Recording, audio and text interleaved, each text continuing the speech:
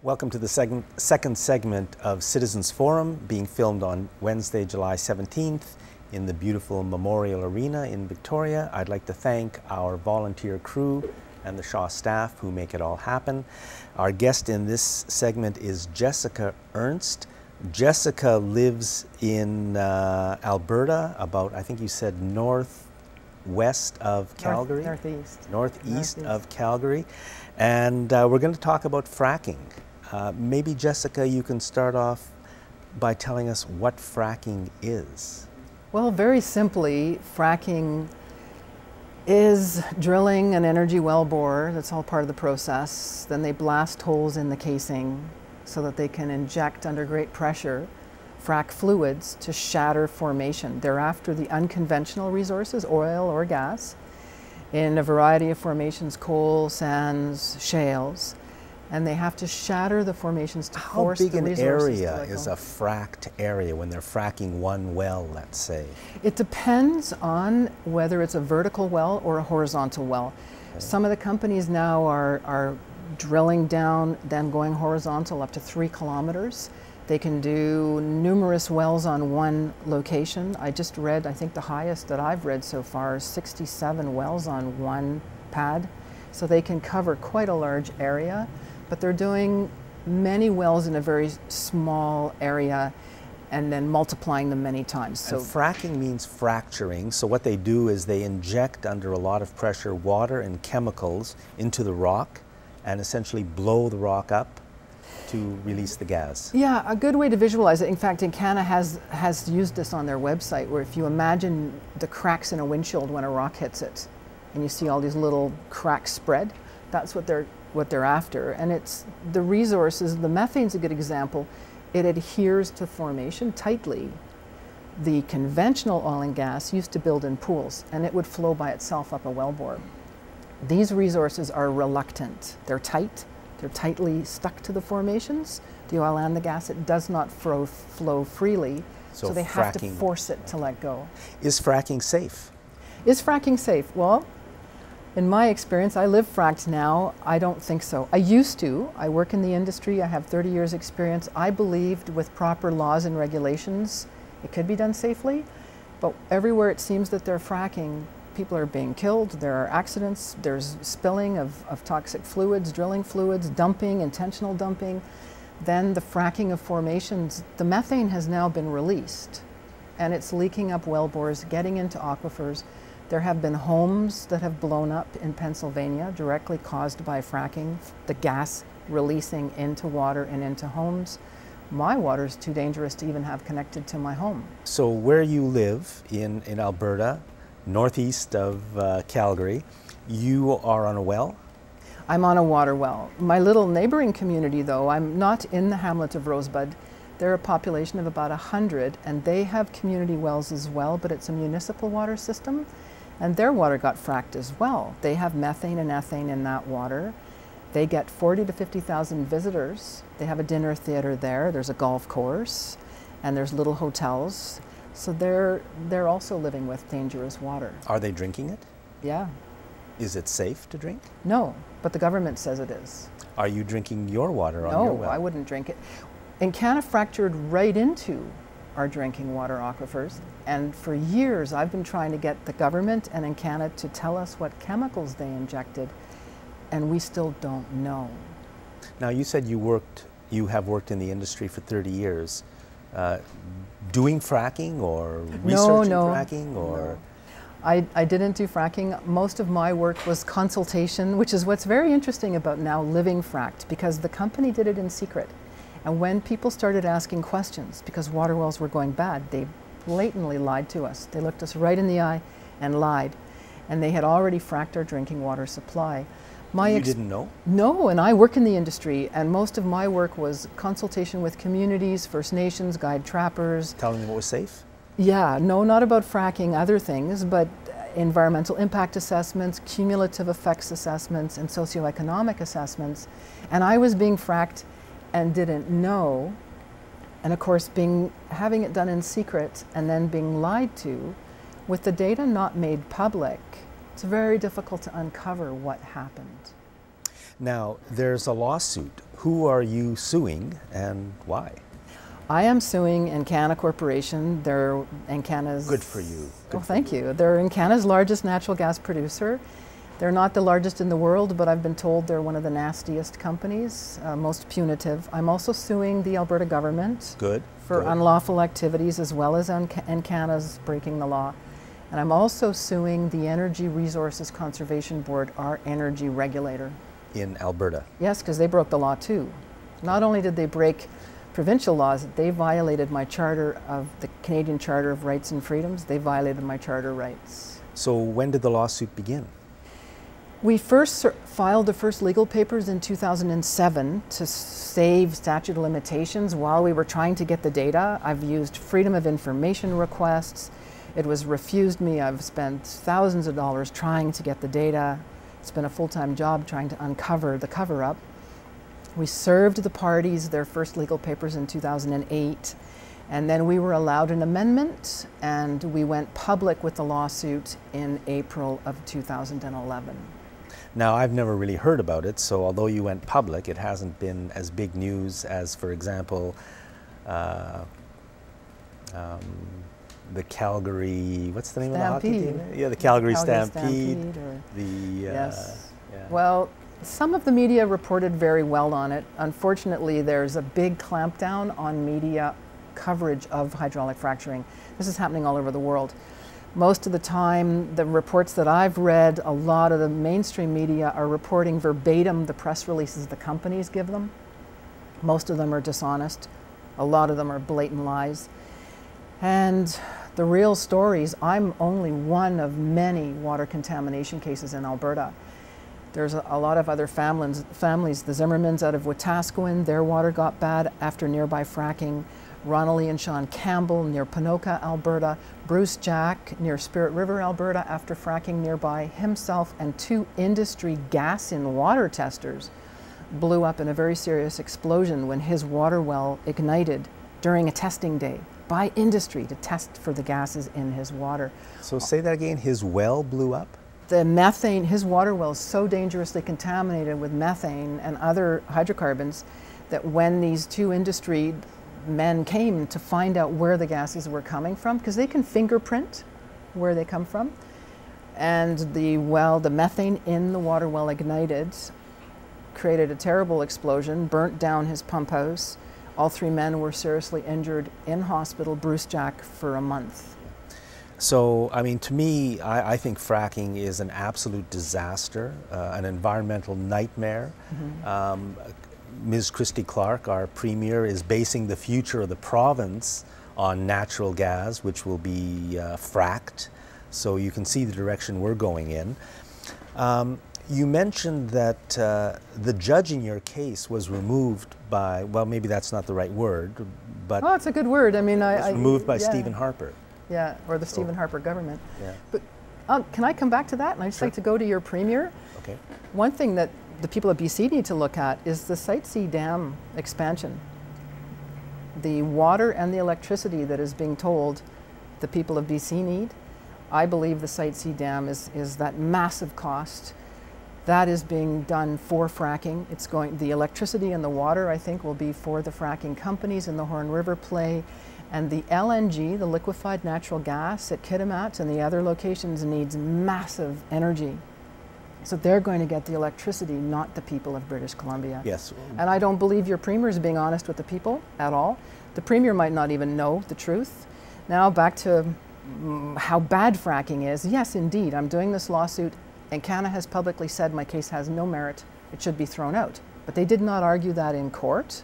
We had a very important court hearing in January, and the most important part that I think of my lawsuit happened in that court hearing where we get to decide, the judge has to decide whether or not a citizen of Alberta can sue the energy regulator for failing to protect a citizen and our groundwater, and if they can be sued for violating our Canadian Charter of Rights. And right before the judge was to rule, Prime Minister Harper, his government intervened and promoted the judge to the Court of Appeal, essentially removing her. My lawyers told me, when I told them about this, I was shocked, and, and they said, Oh, don't worry, she will have to complete her ruling. of what she heard. So my lawyers asked her, Will you be doing the ruling on what you heard? And she said, That's not an option. That's unconscionable and shocking. And all Canadians ought to be horrified by this. And none of the mainstream press reported on that. I'm horrified. I'm embarrassed to be Canadian by this. But the interesting contrast to that is the federal government intervened in a provincial lawsuit that supposedly has no merit. All of a sudden, Jack, I realized my lawsuit has massive power. I'm a little tiny citizen, a middle aged citizen. And yet I have the federal government interfering in a provincial lawsuit. Plus, I think the Harper government reacted, which is not that good. All of a sudden, I realized my lawsuit's really important. I knew it was important. Now it's tremendously more important than I could have ever imagined.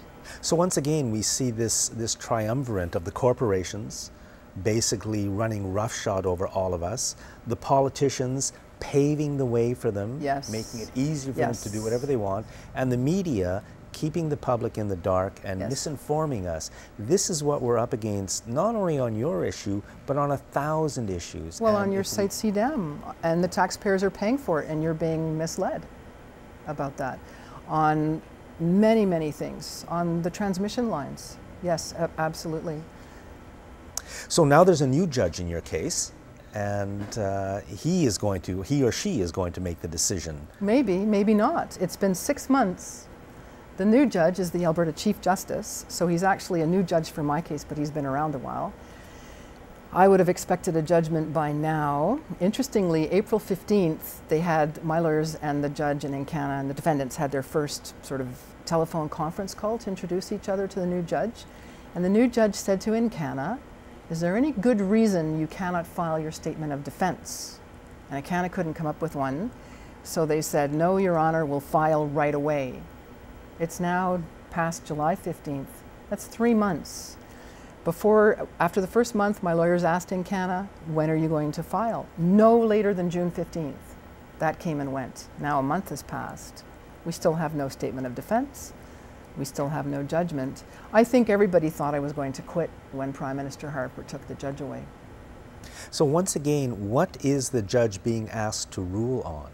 Well, there's a number of things. Uh, one is the, the, when you do a lawsuit, the defendants have all kinds of abilities to kill you financially, emotionally, burn your heart out.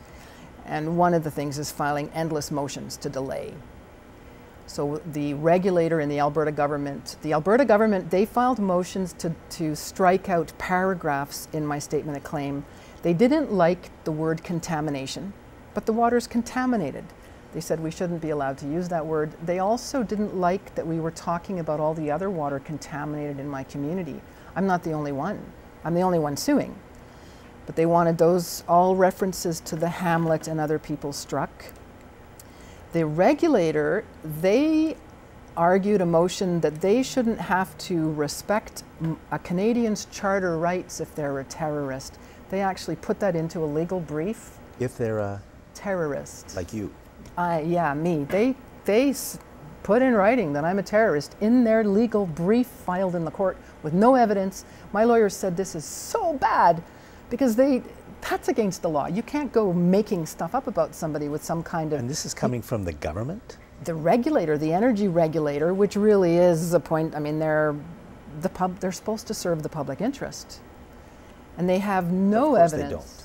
Right, and they have no evidence of calling me a terrorist. No, I was never charged. I've never been arrested. I have no criminal record. And they did that in an official legal brief. And they used that argument to say that they can violate a Canadian's Charter of Rights. Because they violated my Charter of Rights in writing.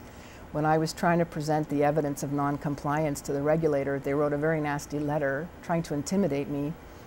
They ruled me making criminal threats without evidence, copied the police, and you said you you made criminal threats yeah. against them. Well, yes, and the public. I was a threat to the public, but they haven't. The police never came and fingerprinted me or threw me in jail.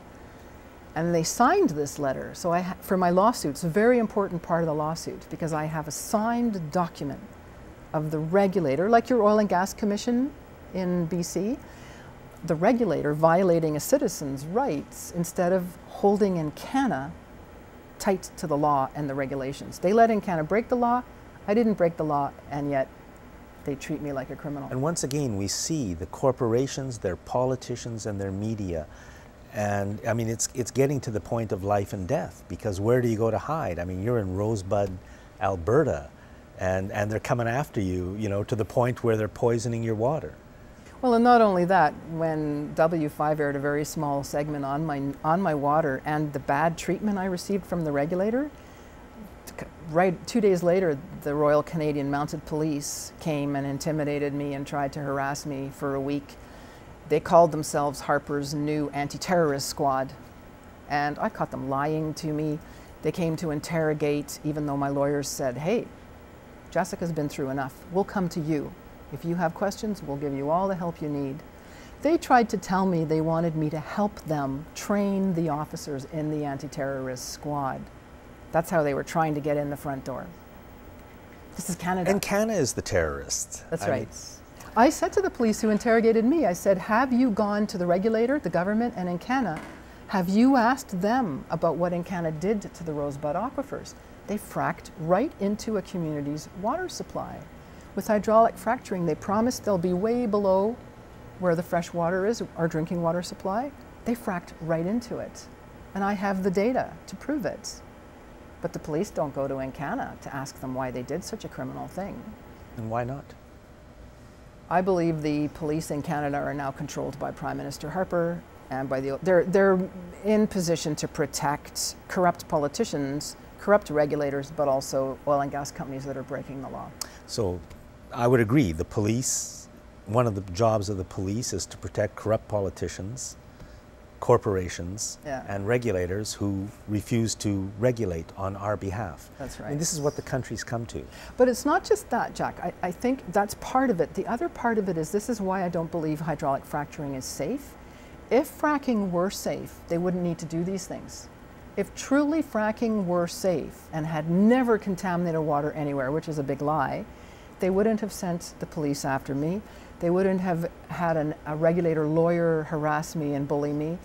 They would have, Encana would have admitted their error and been held accountable and mitigated the problem. But because of the bad things they're doing, to me that shows, as a scientist that's worked in this industry, that's what shows to me that fracking cannot be made safe. How big is fracking in this country? Huge. Okay, tell us, because nobody knows. We never hear about it. No. In Quebec, for example, a couple years ago, they had done 31 wells. Some of them weren't even fracked yet, and they were already leaking methane. Half of them, more than half of them, were leaking methane. The government told the companies, fix the leaks. The companies tried, they couldn't. They now have a, a, a short term moratorium ban, depends on who you talk to, what they're calling it. But the companies want to frack for oil there, and they're already putting big pressure on the Quebec government. Nova Scotia, New Brunswick, big protests in New Brunswick. They want to keep fracking out. Ontario, uh, the Tax Assessment Review Board already stated a couple years ago a methane contaminated property, you can't tax it. Zero value, it's a hazard. Manitoba, they're doing a lot of fracking. They've got problems already. Saskatchewan, Alberta, of course, British Columbia. It's a nightmare. It's, a nightmare, it an environmental nightmare. The media won't report on it. That's right. Here in BC, it's Christy Clark tells us it's the way forward. It's the road to safety and prosperity for us all. It's an, what's wrong with that woman? Well, it's not just it's not just Christy Clark. It's all the politicians all right now. Our, we were promised jobs too in my community. There was one job hauling the toxic waste. For British Columbia people, they're fracking in southeast British Columbia as well. There's there's apparently large holdings in central British Columbia where lots of people go to retire. Kelowna area, water shortages, Vancouver Island, they're planning to frack also. I think we're out of time. Jessica Ernst, thank you very much. You're very welcome. Thank you very much for for doing this fight on behalf of all of us. It's it's you know. You're very welcome. Yeah. Thanks for watching this segment of Citizens Forum.